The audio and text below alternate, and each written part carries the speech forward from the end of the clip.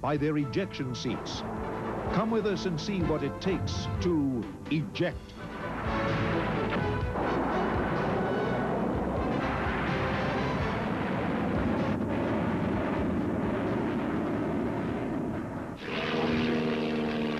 From the earliest days of combat aircraft, a system was needed to escape a damaged aircraft.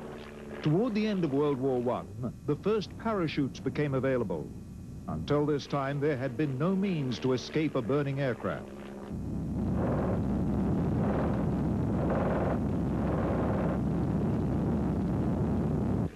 By the 1920s and 1930s, parachutes had become standard equipment on all combat aircraft.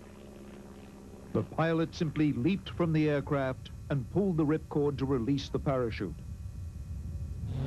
The dogfights of World War II proved the necessity for life-saving parachutes.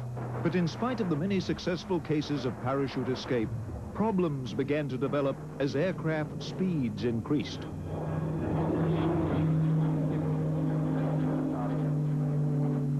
In the Second World War, aircraft speeds started to get higher and higher, and a means was required to assist the pilot out of the aircraft in the event of an emergency.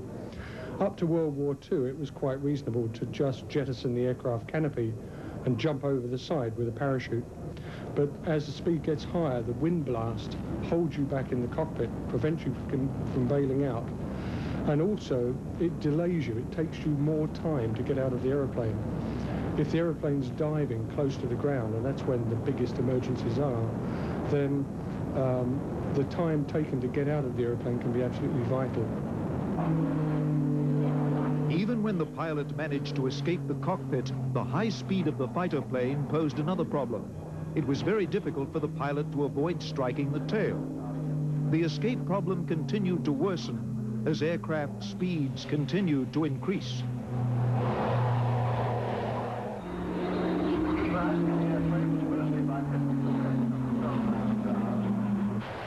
In the autumn of 1944, Allied fighters began encountering these strange new German fighters with sleek, swept wings. They were the world's first jet and rocket fighters. The high speeds of the new jet aircraft made the pilot escape situation even worse.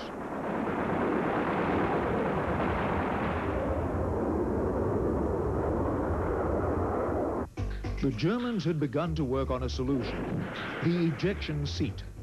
The idea behind the ejection seat was to hurl the pilot out of the aircraft with enough speed that he would clear the tail.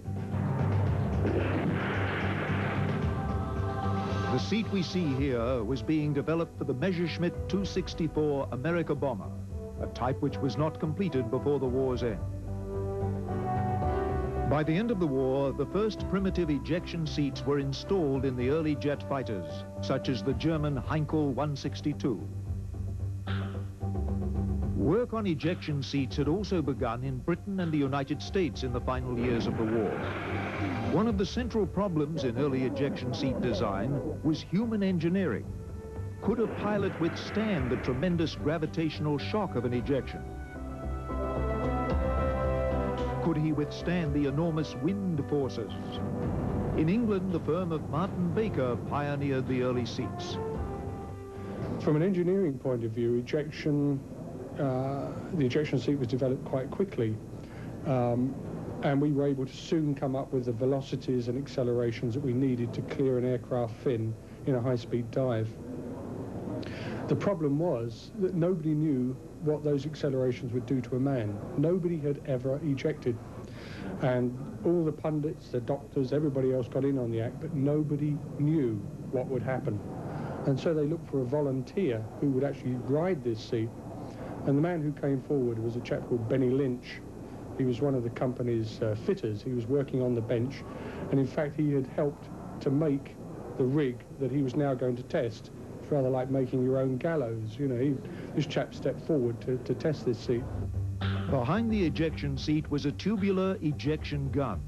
This system consisted of a set of telescoping tubes which contained a small explosive charge. When activated, the charge fired the seat out of the aircraft. They were rough on the spine, as Benny Lynch would painfully discover. And what they found was happening was that the acceleration was being applied too quickly. The rate of rise or the rate at which the acceleration was applied was too quick. And what was happening was that the vertebra in the spine were banging together like boxcars in a train, all banging together and um, causing damage to the spinal column.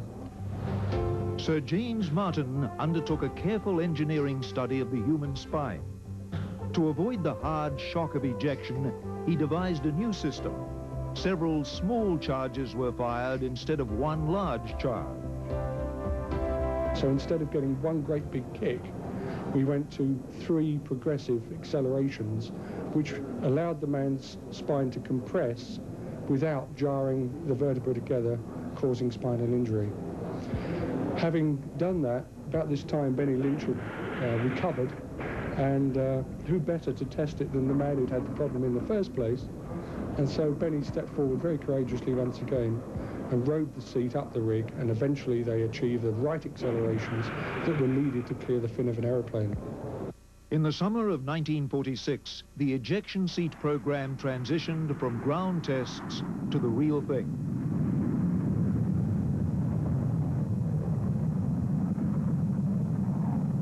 Watch carefully as in the special rear cockpit, Lynch gets ready to fire himself out for the second time. As the seat leaves the plane, the stabilizing drogue preventing the seat turning over in the air opens and then pulls out the seat parachute. Normally, only the drogue is used. The parachute has been fitted solely to prevent damage to the seat during these tests. Now, in his own time, Lynch can free himself from the seat. Watch just below the white canopy, and you will see Lynch's own parachute open as he falls clear.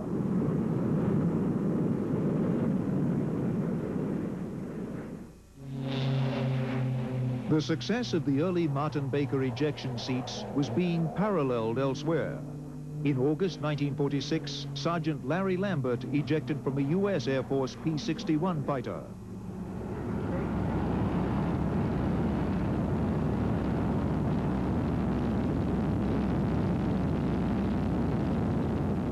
The following year, the first successful test took place in the Soviet Union.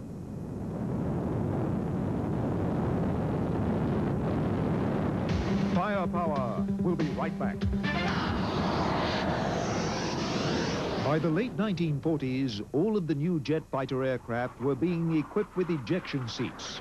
The new invention had come just in the nick of time.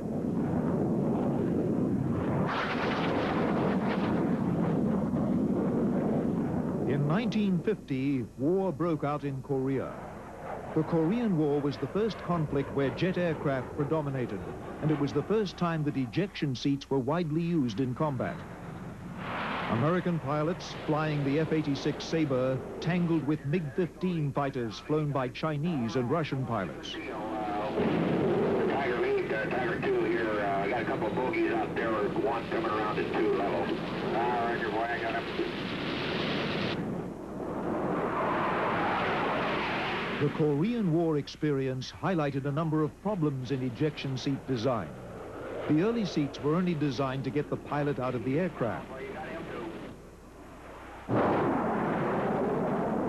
Once ejected, the pilot had to free himself from the seat, leap forward, and open his own parachute.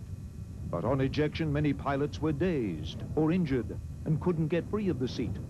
An automatic seat was needed.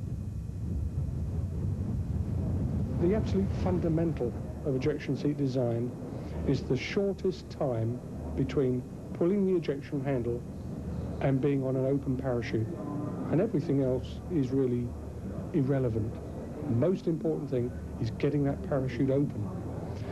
It's only when the man is safely hanging on the parachute that you can be confident that he's going to survive in an emergency situation. And so many, many engineering hours were spent in developing automatic mechanisms on the ejection seat which would not only eject the man from the aeroplane, not only deploy the drogues, but would then automatically separate him from the seat and deploy his parachute for him. Because this new ejection system helped the pilot escape from the seat, it made ejection at low altitude safer. This new generation of ejection seat was in service by the mid-1950s.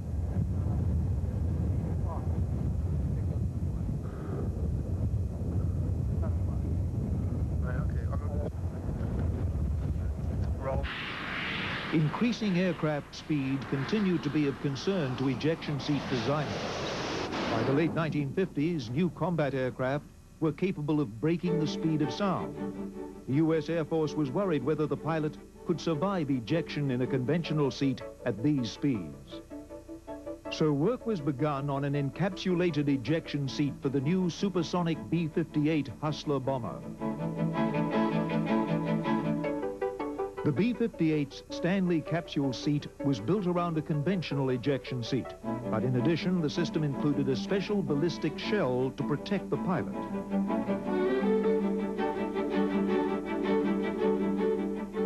Prior to ejection, the crewman would close up the capsule. This capsule offered the aircrew a high level of protection